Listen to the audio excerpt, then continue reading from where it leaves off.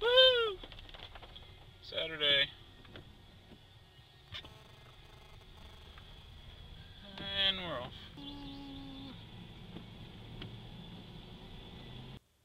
Today, I'm going to the Auburn football game with my little brother.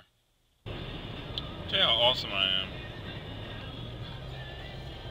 My GPS and my person is Mario. We've been on the road for about an hour now, and this is my first time in my brother's truck.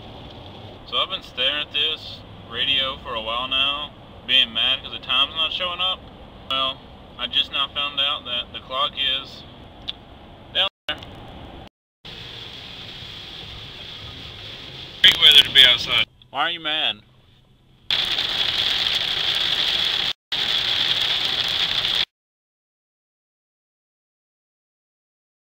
Just now getting out of the game. Right now it's like, what time? 11.30? And, um, yeah, I'm drenched. Okay, so, um, like, that was a lot of rain.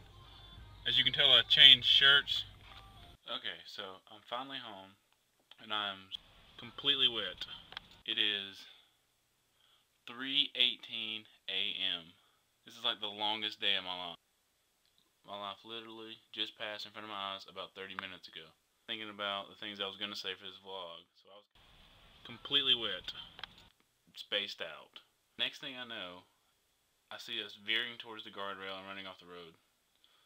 Luckily, I was paying attention enough to grab the wheel. That'll wake you up. We got to the stadium about 45 minutes before the gates opened. Luckily, the weather had cleared. So we decided we'd get out and go ahead and walk to the gate and walk around it started to rain.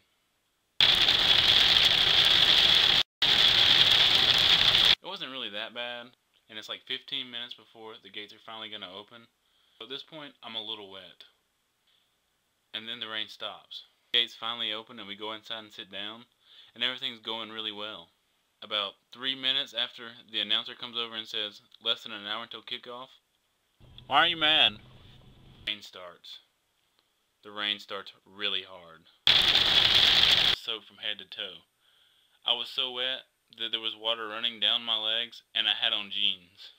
I had to sit through an entire football game completely wet. But being completely wet and cold for an entire football game is downright miserable. And to top it all off, I had to walk all the way back to the car in wet jeans, and we all know that's not comfortable. Finally, we were on our way home. But I needed one more thing. We're about to eat. I haven't eaten since like 9 o'clock this morning and I'm starving to death. So we're about to eat and it's going to be exciting. I have no idea what to get. But I want something freaking huge. Once we had our food, we drove across the road to a gas station and I had a great idea. There was a poncho in the back seat that I stupidly didn't take inside the game. So I took off my wet blue jeans and wrapped myself up in a poncho. And this is how I spent the next two hours. Why are you mad?